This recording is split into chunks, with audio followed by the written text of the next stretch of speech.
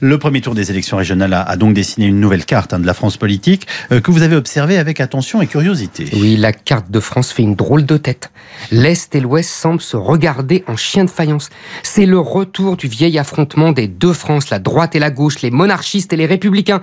Sauf que les terres de gauche à l'Est sont passées avec armes et bagages au Front National, tandis que les terres catholiques de l'Ouest sont devenues socialistes.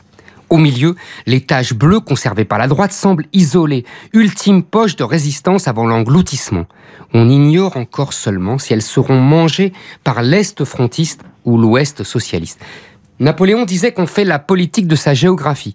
En contraignant les têtes de liste du Nord et du Sud à se retirer avant le second tour, le premier secrétaire du PS, Jean-Christophe Cambadélis, a froidement exécuté les deux plus vieilles fédérations socialistes. Les terres historiques du Nord et des Bouches-du-Rhône qui faisaient les élections sous la SFIO de Jaurès et de Blum, les fiefs de Mauroy et de Defer qui avaient hissé Mitterrand sur le pavois lors du congrès d'Épinay en 1971. Pas d'élus régionaux pendant cinq ans, cela signifie qu'on n'a plus d'argent, plus de subventions aux associations, plus de places sous pour les enfants, plus de viviers des futurs députés. C'est le désert qui s'avance sur des terres militantes autrefois riches et fertiles, les négociateurs de la COP21 devraient s'en saisir d'urgence. Mais alors pourquoi Eric, le premier secrétaire du Parti socialiste, agit-il ainsi? Cambadélis enterre sans fleurs ni couronne le parti d'Épinay, celui de Mitterrand et de l'Union de la gauche.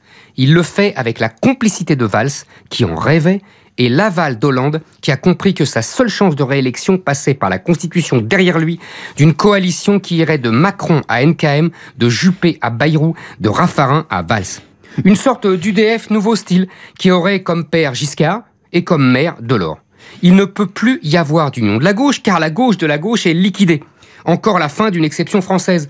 Les communistes et Mélenchon n'ont plus d'électeurs, les écologistes n'en ont jamais eu. Les généraux de cette armée morte sont sommés de se rallier à des socialistes qu'ils vomissent et qui les méprisent. Une belle alliance, disait Cambadélis. Le grand René Girard nous a appris que pour se rassembler, les sociétés archaïques avaient besoin de sacrifier un bouc émissaire pour célébrer les noces de la gauche européenne et libérale avec la droite libérale et européenne, le bouc émissaire a pour nom Nicolas Sarkozy. Dès dimanche soir, la gauche criait haro sur le Sarko et son refus du front républicain. Le centriste Lagarde n'hésitait pas à faire chorus alors que Sarkozy avait été fort généreux avec l'UDI dans la répartition des têtes de liste. La gratitude a toujours été la grande qualité des centristes. Le lendemain, Raffarin et NKM rejetaient le nini sarkozyste et Juppé réclamait un débat sur les causes de la défaite. Le second tour de la présidentielle de 2017 se préparait déjà entre François Hollande et Marine Le Pen. Le paysage politique était un champ de ruines où les morts se ramassaient à l'appel. L'essentiel était désormais de survivre.